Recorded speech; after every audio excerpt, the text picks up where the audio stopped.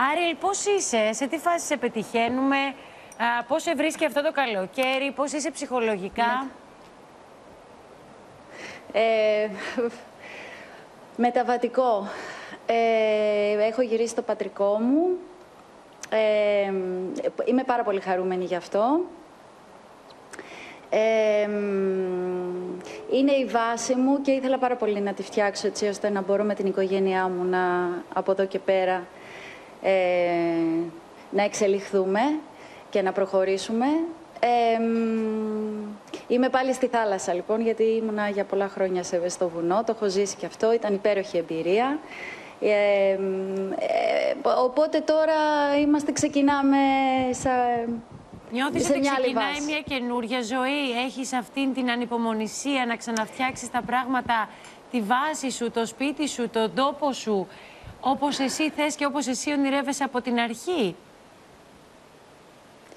Ε, η αλήθεια είναι πως το ονειρευόμουν από όταν ήμουν μικρή. Το πώς εγώ σε αυτό το σπίτι με την οικογένειά μου πώς θα είμαστε. Και μάλιστα ε, στον τέταρτο είμαστε εμείς πιο ψηλά. Στον τέταρτο ήταν δίδυμα, αγόρια. Και έλεγα όταν μεγαλώσω θέλω τόσο πολύ να κάνω δίδυμα. Ήταν η αφορμή και μάλιστα χθες είδα τον έναν από τους δύο.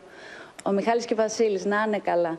Ε, είναι μια, ο, δεν, δεν θέλω να πω είναι, είναι μια αρχή, είναι, είναι αυτό που ήθελα από μικρή. Και είναι πολύ συγκινητικό το ότι τα κατάφερα, είμαστε υγιείς, είμαστε ενωμένοι.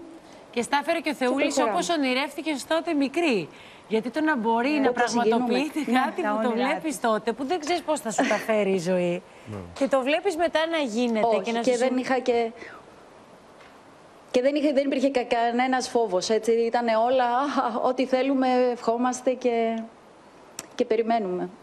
Ήταν, υπήρχε αθότητα. Δηλαδή, σε κάθε παιδί όταν εύχεται κάτι είναι πάρα πολύ αθώο και αγνό. Είσαι μια γυναίκα η οποία σε συνεντεύξεις σου έχεις δηλώσει δημόσια τη στήριξή σου στις γυναίκες οι οποίες έχουν κάνει όλες αυτές τις καταγγελίες και έχουν περάσει όλη αυτή την κακοποίηση και την έχουν καταγγείλει δημόσια. Θέλω να μου πεις αισθάνεσαι Όχι μόνο στις γυναίκες, σε όποιον. Και στους ανθρώπους, ναι. πολύ σωστά. Αισθάνεσαι ναι, λίγο ναι. δικαιωμένη με την τροπή που έχουν πάρει τα πράγματα, με το ότι πια η δικαιοσύνη έχει τον πρωταρχικό λόγο σε όλες αυτές τις υποθέσεις; Αυτό είναι το ευχάριστο, ότι υπάρχουν νόμοι και εγώ όμως η, η, πίστη μου είναι στο ότι πάντοτε, ε, πώς να πω, υπάρχει ένα αποτέλεσμα που, που έρχεται με την αλήθεια και ότι υπάρχει δικαίωση. Εγώ σε αυτό πιστεύω πάρα πολύ. Ότι όσο, ακόμα και αν περάσουν χρόνια ή έρχονται καταστάσεις που μπορεί να σκεπάζουν ε, τις δυσαρμονίες, έρχεται η δικαιοσύνη στο τέλος. Όταν Και βγαίνει η αλήθεια στο φως. Αυτό πιστεύω. Όταν άκουγες όλες αυτές τις καταγγελίες που όλες ε, εμείς, και μιλάω για τις γυναίκες, για να μην παρεξηγηθώ, γιατί ήρθαν αυτές οι καταγγελίες από τις γυναίκες. Θα μπορούσαμε να κάνουμε να συζητάμε για μια άλλη υπόθεση και να συζητάμε αυτή τη στιγμή για άντρες. Και οι πιο σοκαριστικές υποθέσεις αφορούσαν ε, γυναίκες. Όχι, υπάρχουν, είναι... και, υπάρχουν, ε, και άντρες. Αλλά γενικότερα τα, ναι, και είναι και σε, όλες τις, σε όλα τα επαγγελματικά και και κοινωνικά επίπεδα. Μπήκε και, και η γυναικοκτονία, η λέξη γυναικοκτονία στη ζωή μας. Ξαναήρθε στη ζωή μας και ευτυχώς που ξαναήρθε στη ζωή μας. Μήπως και καταφέρουμε με όποιο τρόπο μπορούμε να την πολεμήσουμε. Εσύ αυτό το φόβο της εξουσίας από ανθρώπους οι οποίοι υπήρξαν πιο δυνατοί από σένα στην επαγγελματική σου πορεία, τον έχεις νιώσει; Φυσικά, φυσικά, ναι. Και είχα, είχα βγει και το είχα πει εξ αρχής, βέβαια. Απλώς εγώ εξ αρχής ε, εστίαζα στο ότι έχει να κάνει με την οικογένεια πάρα πολύ και ότι οι πρώτοι που ασκούν εξουσία σε ένα παιδί, σε ένα μωρό, είναι οι γονείς. Άρα από εκεί χρειάζεται μια σωστή, μια εκπαίδευση τέλος πάντων, ε, ώστε τα παιδιά να μεγαλώνουν και να υπάρχει ο σεβασμός και η ισορροπία μέσα στην οικογένεια. Από την οικογένεια ξεκινάει. Εσύ στα δικά σου παιδάκια έχεις δύο αγοράκια που αύριο θα είναι οι άντρες του μέλλοντος. Στα δικά σου αγοράκια, τι θα πεις για την εξουσία, τι θα πεις για τις γυναίκες, πώς θα μιλήσεις για το σεβασμό; Ε, καλά, τη γυναίκα τη βλέπουν από μένα. Έτσι, οπότε η, η πρώτη εικόνα που έχουν και το μοντέλο για το πώς σέβεται ένας άντρας μια γυναίκα και μια γυναίκα έναν άντρα, το έχουμε μέσα στην οικογένεια. Αυτό εννοώ ότι ε, θέλω να πω ο σεβασμός και τα πρότυπα καλλιεργούνται μέσα από την οικογένεια και πώς λειτουργούν οι ρόλοι σε ισορροπία. Αυτό είναι το πάρα πολύ βασικό. Άρα, όταν από πολύ μωρό ο, ο, ο, ο στόχος μου ήταν τα παιδιά να με βλέπουν και χαρούμενοι και δυναμικοί και να έχω τα όνειρά μου που θέλω να τα πραγματοποιήσω και να μην συμβιβάζομαι από φόβο ότι θα χρειαστεί να γίνονται συμβιβασμοί στη ζωή, βεβαίως κάνεις, αλλά όχι επειδή φοβάσαι, Πολύ σωστό, πάρα Αυτό. πολύ σωστά. Επειδή οι Ε, ανάγκες σου είναι δεν, τέτοιες. δεν ξέρω, όσο μπορώ, δεν είμαι, δεν είμαι τέλεια, αλλά όσο μπορώ, ακριβώς επειδή έχω αγόρια, ήθελα να τους καλλιεργήσω... Το σεβασμό εμ, προς τη γυναίκα. Το ότι χρειάζεται σεβασμός, σεβασμός στη γυναίκα, σεβασμός Στον στον άνθρωπο. εαυτό τους πρώτα απ' όλα. Έτσι. Στ- στους, ί- στα ίδια τα παιδιά. Και σε αυτό που θέλουν το διεκδικούν με καλό τρόπο, με ευγενικό.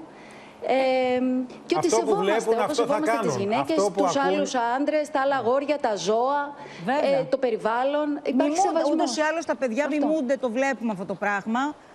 Σε ένα Ακριβώς. σπίτι. Και εγώ δεν θέλω να, να λέω μόνο λόγια και τσιτάτα για το τι πρέπει να κάνουμε και πώς να είμαστε. Θέλω να το βλέπουν στην πράξη. Είχες Ακριβώς. ποτέ πάνω σου. Δηλαδή πώς ένας... Συγγνώμη, σε διέκοψα, γιατί έχουμε μια καθυστέρηση στον ήχο. Ολοκλήρωσε, Όχι, ολοκλήρωσε. Ναι. Όχι, όχι, δεν, δεν, κα- δεν, δεν ξέρω τι θέλω να πω. Ήθελα να σε ρωτήσω, γιατί τις τελευταίες μέρες συζητάμε πάρα πολύ για αυτό το κοινωνικό, στα- τα κοινωνικά στερεότυπα, το τι θα πει ο κόσμος, πώς είναι ο κόσμος, μη χωρίσει μια γυναίκα γιατί θα πει ο κόσμος, μένει μια γυναίκα σε μια κακοποιητική σχέση, σε ένα γάμο, για το τι θα πει ο κόσμος. Εσύ το είχες ποτέ αυτό, μεγάλωσες έτσι ή ήσουν τυχερή και μεγάλωσες χωρίς αυτές τις πεπιθήσεις που δεν βρήκες μπροστά σου; Μα ήταν η κοινωνία μας έτσι, δηλαδή οι γενιές αυτές των γονιών μας ήταν έτσι, οι ελληνικές ταινίες είναι έτσι. Πόσο υποδέστερη μπορεί να είναι η γυναίκα ή η γυναίκα είναι γενικώς για το σπίτι ή έχει τερτύπια που είναι πολύ χαριτωμένα, αλλά δεν είναι η γυναίκα αυτό. Δηλαδή το, το, το θηλυκό, το, η πεισματάρα που θα κάνει τον μπαμπά ό,τι θέλει, τέλος πάντων όλα αυτά που έχουμε μεγαλώσει με αυτά. Μα δεν είναι η γυναίκα έτσι. Μόνο. Δεν είναι Βεβαίως μόνο. υπάρχουν και αυτά τα χαρακτηριστικά. Αλλά οι ελληνικές ταινίες πλέον, ε, κάποια τέλος πάντων πρότυπα ρόλων που β- βλέπουμε μέσα από τις ελληνικές ταινίες δεν υπάρχουν πια. Η κοινωνία μας έχει αλλάξει. Οπότε ε, πρέπει και εμείς. Πρέπει και το εμείς. θέμα είναι να μην νομιμοποιούμε, να, να μην... Ε, μ, πώς να πω, σε εισαγωγικά λέμε ότι α, ε, ε, αυτό γίνεται. Ξέρω εγώ, το ξύλο βγήκε από τον παράδεισο. Είναι αδιανόητο. Είναι αδιανόητο ένας καθηγητής να τιμωρεί με τέτοιο τρόπο ένα παιδί. Σωστά, αλλά παλιότερα και η βέργα και η τιμωρία και το όρθιο στη γωνία με το κουτσό, ξέρω εγώ. Ε, Τα έχουμε ζήσει αυτά. Έχεις Α, είναι πάρα πολύ αδιανόητο. μεγάλο δίκιο. Οπότε- Όλοι ευχόμαστε αυτή η εξέλιξη της κοινωνίας να φανεί και στην πράξη.